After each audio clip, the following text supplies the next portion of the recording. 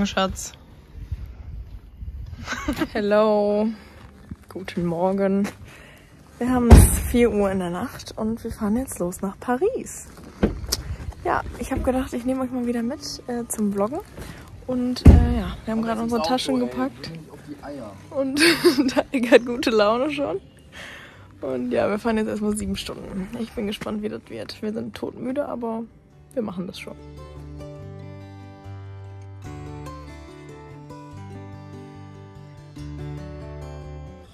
Wir sind äh, bei unserem ersten Stopp angekommen, kurz vor Belgien. Mm, Wir haben gerade noch einmal getankt. Und Tarek hat sich einen Kaffee geholt. Und mir auch. Wir sind jetzt schon drei Stunden gefahren. Tarek ist durchgefahren und ich habe gepennt. Also vier Stunden noch.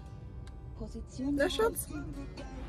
Wir sind in Belgien angekommen, machen gerade unseren zweiten Stopp, irgendwie eine Stunde später, weil äh, wir nicht auf Klo waren. Kurz einmal Beine vertreten und ähm, ja, wir fahren jetzt immer noch drei Stunden oder so.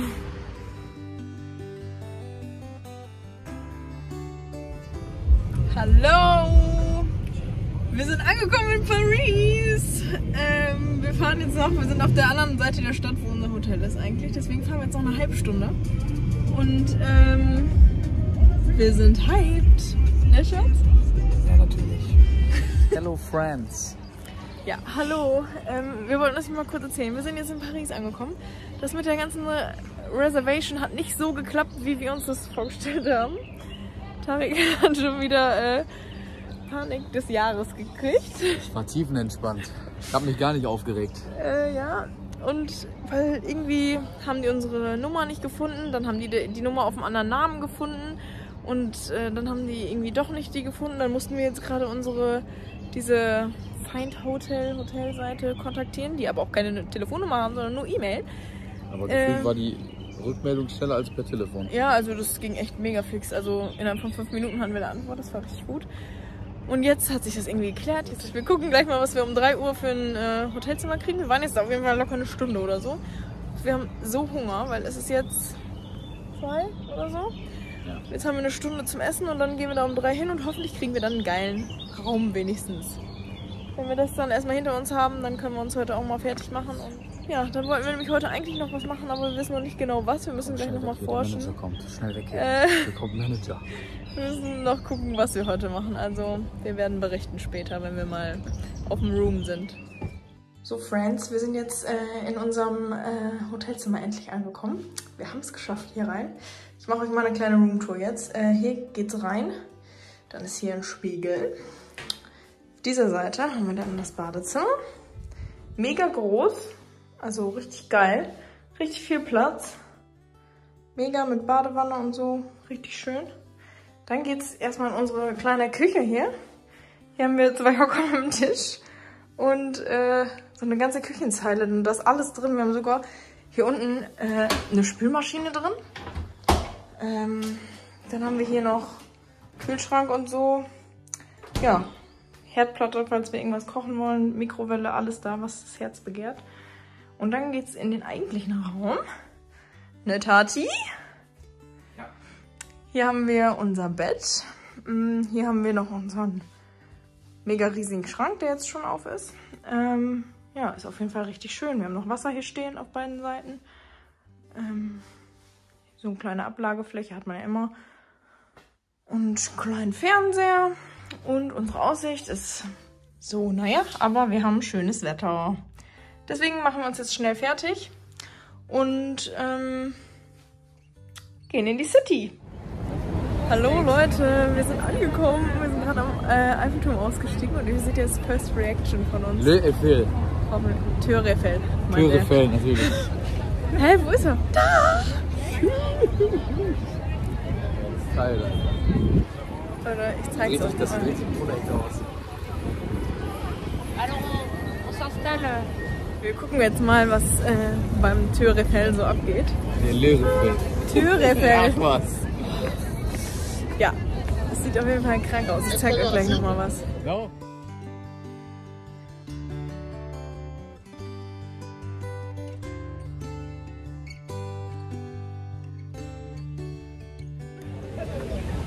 Spazieren jetzt gerade mal hier ein bisschen lang, haben schon ein paar Fotos gemacht und es sieht einfach mega geil aus hier. Hier sind noch äh, Fontänen die ganze Zeit an, die werden auch manchmal größer und stärker. Und ja, wir suchen jetzt mal ein kleines Café hier, äh, weil wir mega Durst haben, weil wir schon den ganzen Tag irgendwie nichts mehr getrunken haben. Und ja, genießen den Tag noch etwas. True Story.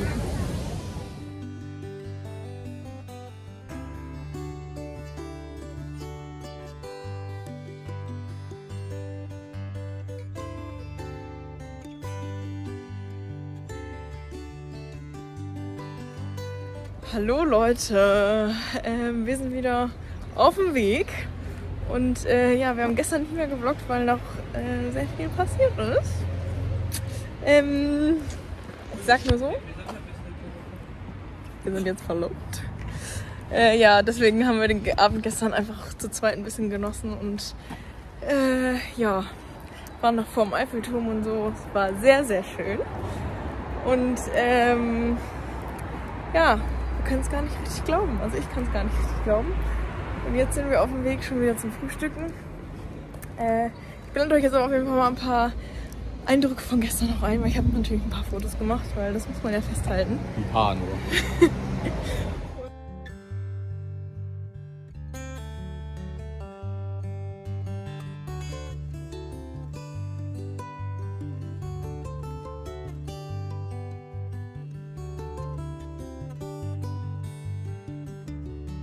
gehen jetzt auf jeden Fall was frühstücken.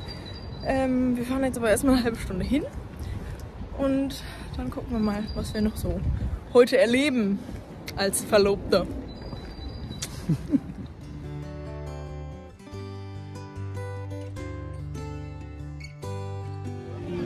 Hello. Wir sind gerade beim äh, wo sind wir Sacré-Cœur. Sacré-Cœur, genau. Und äh, ist die Kirche. Die geht dann noch richtig weiter. Die ist richtig schön.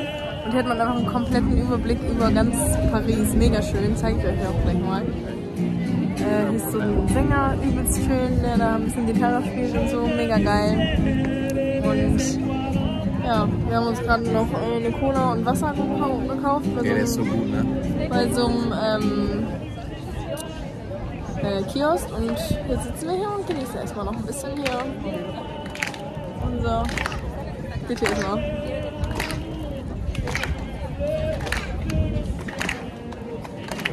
Das kann echt mega singen.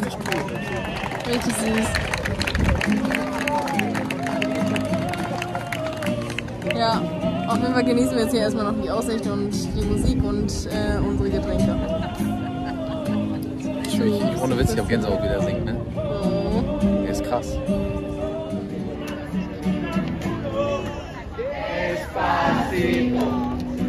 Pero despacito, desde tu laberinto,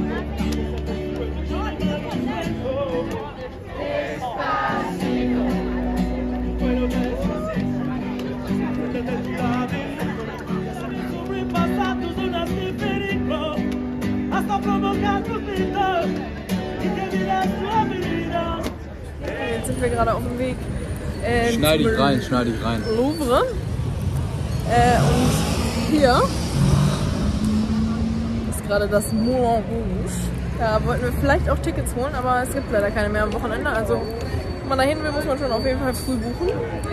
Ähm, ja.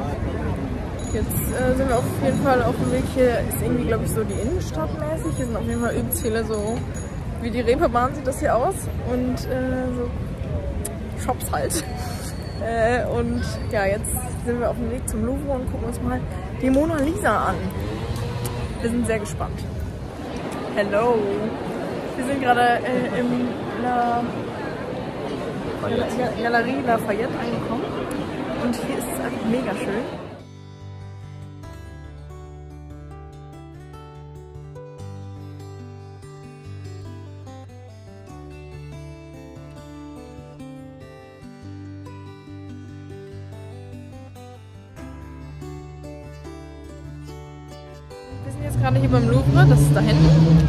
Einblenden. Allerdings äh, kommen wir nicht rein, weil wir, es ist ausgebucht und ähm, man muss online Tickets kaufen. Und ja, deswegen kommen wir da heute nicht rein. Jetzt stehen wir hier vor und sind extra dahin gelaufen und ja. Das wussten wir natürlich vorher auch nicht, aber ja, wir gucken jetzt gleich mal, ob wir für morgen Tickets kriegen und dann buchen wir für morgen dann Tickets. Äh, wir gucken jetzt mal, weil wir sind hier direkt an der Seine, also an dem Fluss hier. Und wir gucken mal, ob wir hier jetzt so ein, so ein Stadtrundfahrt-mäßig irgendwas machen können mit einem Bus oder äh, so. Mal gucken, ob wir da irgendwas finden, was wir heute machen können. Also, so, wir sind jetzt äh, auf dem Boot angekommen. Wir haben uns für ein Boot entschieden und äh, fahren jetzt einfach die komplette Seine vom Louvre quasi bis zum Eiffelturm. Und da kann man jetzt überall aussteigen, also Hop-on, Hop-off-Bus, äh, Boot. Und ist mega nice, hat nur 17 Euro gekostet. Und äh, fahren jetzt bis zum Eiffelturm und steigen da aus und dann essen wir da irgendwo was. Hallöchen, mal von der anderen Seite. Ich habe mir mal gedacht, ich schnapp mir mal die Kamera und äh, habe diesen schönen Eiffelturm am Hintergrund. Machen wir gerade Schatz? Ich bin einfach nicht fürs Vloggen geboren, sag ich dir. Ja, erzähl mal was. Jetzt nochmal von mir. Ähm, wir waren gerade essen. War ultra teuer. Also, es war einfach nur in der Nähe des Eiffelturms. Also noch nicht mal mit Blick auf den Eiffelturm. Und wir haben einfach 92 Euro bezahlt für einen Burger und eine Pizza. Dein scheiß Aperol Spritz Und Aperol 27 Euro gekostet. 27 Euro, Alter. Egal. Und Tarek hat Hab's Bier. Bier getrunken. Also ein großes Bier. Kam so ein Liter Bier. Maß. 20 Euro. Alles klar. Danke für Schatz, wir nichts. sind in einer Sackgasse. Auf jeden Fall sind wir jetzt gerade schon auf dem Weg nach Hause, weil wir sind so kaputt, weil äh, wir einfach schon irgendwie 15 Kilometer gelaufen sind oder so. Heute den ganzen Tag über und wir sind einfach nur tot. Wir laufen jetzt auch noch wieder 50 Minuten nach Hause. Wir könnten noch einen Bus nehmen, aber wir sind einfach zu geizig, 1,90 Euro jetzt auszugeben nach dem Essen. Und äh, ja, deswegen laufen wir jetzt nach Hause und dann melden wir uns morgen wieder. Bis dann. Hello, hello. Wir sitzen schon ähm, im Boot und äh, wir waren gerade beim Eiffelturm, der ist da. Und äh, wir sind jetzt auf der Suche nach was zu essen, weil wir richtig Hunger haben. Es ist 11 Uhr oder so. 12 schon. 12 Uhr schon. Und haben immer noch nichts gegessen. Äh, wir fahren jetzt einfach mal, weil unser Bootpass ist noch gültig. Äh, noch bis 5 Uhr heute. Deswegen fahren wir jetzt noch ein bisschen mit dem Boot rum, weil wir können hier diesen Hop-on, Hop-off machen wir jetzt. Äh, fahren wir jetzt ein, zwei Haltestellen und gucken da, ob wir was zu essen kriegen. Wo wir noch nicht waren auf jeden Fall. Und ähm, dann fahren wir gleich zurück zum Eiffelturm und machen da Fotos. Da freut Tarek sich schon ganz besonders drauf. Dieses scheiß Gerät hier. Wir haben ein Stativ mit. Direkt schlechte Laune. Ähm, wir haben uns gerade was zu essen gekauft hier. Baguette und äh, Essen. Bei dieser, ähm, bei diesem Bäcker da. Das war auf jeden Fall übelst günstig da und sieht sehr, sehr nice aus. Gestern haben wir nämlich 50 Euro bezahlt für Frühstück. Und heute, haben wir Heute nur 13. 13. Mega gut. Deswegen, äh, also, wenn man mal hier ist, kann man das auf jeden Fall machen. Da sind wir, wie hieß es nochmal, wo wir ausgestiegen sind? Irgendwie so ein Museum. Musée. Nee, Onel oder so. Ost Musée d'Orsay oder irgendwie sowas. Schreibe ich euch mal hier hin. Äh, da sind wir auf jeden Fall ausgestiegen und äh, sind dann einfach in die Straße rechts reingegangen. Also mega. Kann ich nur empfehlen hier. Wir setzen uns jetzt an die Seine und genießen unser Frühstück endlich mal um halb eins. Ey.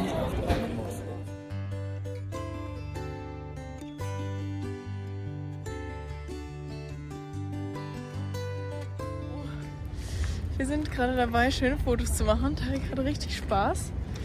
Äh, er liebt das hier, ihm ist gar nicht peinlich. Ähm, wir suchen So ein Idiot mit so einem Ding hier rum. Ähm, wir haben gerade äh, schon Fotos gemacht, aber jetzt wollten wir eigentlich an einen anderen Spot. Aber wir finden jetzt leider keinen, wo rela relativ wenig Menschen sind und wo trotzdem eine gute Sicht auf den Eiffelturm ist. Deswegen gehen wir jetzt wieder zurück zu unserem anderen Spot und äh, machen da noch ein paar Pictures, weil wir noch nicht das Perfekte haben. Ich habe noch ein paar Fotoideen, die muss ich noch umsetzen heute. Äh, und danach haben wir noch einen schönen Tag, Schatz, ne? Ja, ich freue mich richtig toll. Toll ist das. Hello Leute, wir sind äh, jetzt fertig mit Bilder machen und äh, Tarek ist froh, dass er das jetzt geschafft hat und äh, Ja, bin ich. Sehr froh sogar. jetzt, äh, wir haben aber auch mega geile Bilder gemacht. Äh, ich kann euch mal ein paar einblenden jetzt hier. hier.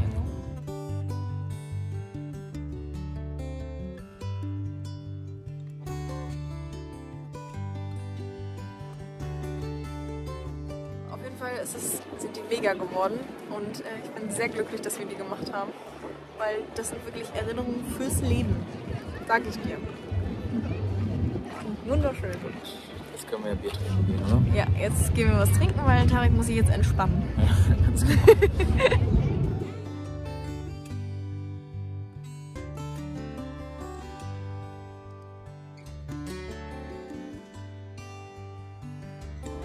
Genießt du?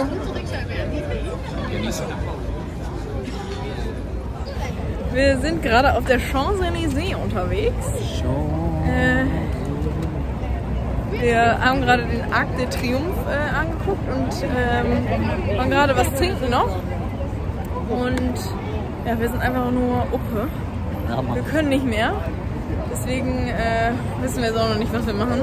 Wir suchen auf jeden Fall noch ein Souvenir, weil wir nehmen aus jedem äh, Stadt, Land. Und Denise hat gesagt, dass sie mir eine neue Cappy kauft übrigens. Hab ich nicht gesagt, Äh, okay. Suchen wir jetzt auch noch nach. Einer schönen neuen Cappy.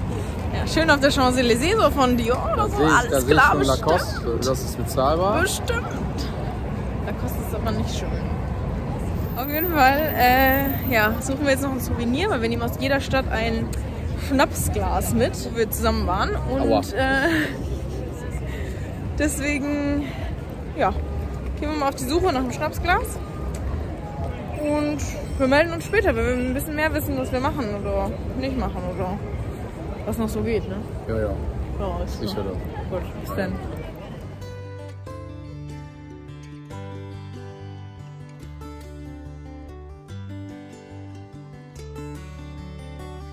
Ja, wir sind immer noch an der Champs-Élysées. Da hinten ist der Arc de Triomphe noch.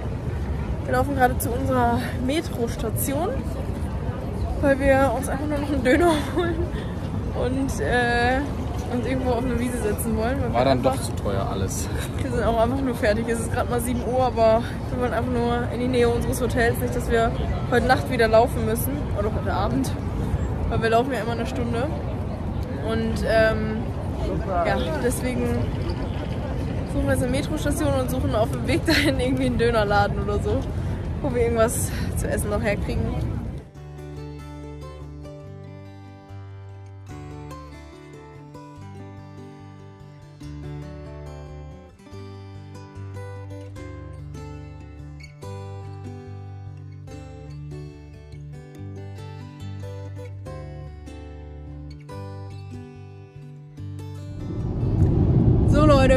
Jetzt äh, auf dem Rückweg. Wir äh, fahren jetzt noch sie, äh, nee, fünf Stunden nur noch. Und ja, wir haben gestern nicht mehr viel gemacht. Wir waren äh, nur noch kurz einen Döner essen und sind dann pennen gegangen. Und heute Morgen haben wir uns auch noch kurz was zu essen geholt und sind direkt losgefahren. Weil wir fahren ja insgesamt sieben Stunden. Ähm, ja, auf jeden Fall wollten wir uns jetzt gerade mal kurz verabschieden. Äh, wir hatten eins der tollsten, schönsten, besten Wochenenden in unserem Leben. Haben es sehr genossen und äh, ja, ich würde sagen, wir sehen uns beim nächsten Mal wieder. Und wir hoffen, euch hat das Video gefallen. Bis dann, ciao! Schaltet ein, wenn es wieder heißt Dönis Welt on Tour.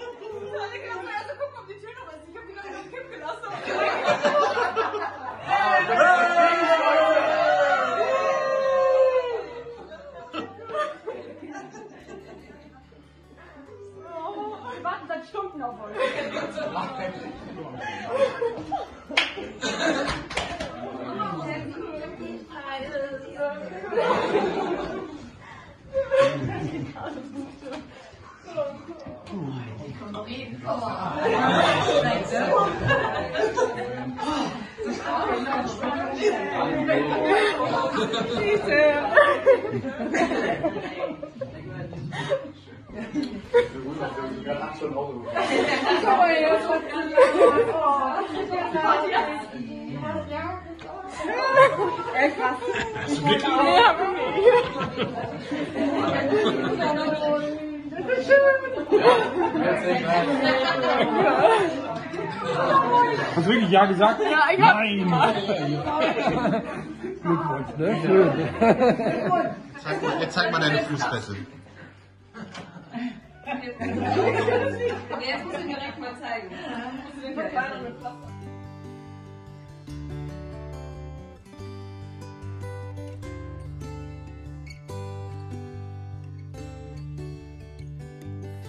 Hello, hello. Ähm, ich wollte euch noch mal kurz sagen, dass ihr wahrscheinlich gerade schon gesehen habt. Der Vlog war noch nicht ganz zu Ende, weil meine ganze Family und unsere Freunde waren noch da, als wir wieder gekommen sind und haben uns überrascht. Und ich dachte, das schneide ich hier auch noch mal mit rein, weil das richtig süß war, wie die hier alles vorbereitet haben und so. Die haben noch alles geschmückt. Hier sind Ballons und über mir ist so eine Girlande noch und so. Ähm, richtig süß auf jeden Fall und äh, ja, wir haben uns sehr gefreut. Es war perfektes Wochenende, perfekter Abschluss von dem Wochenende.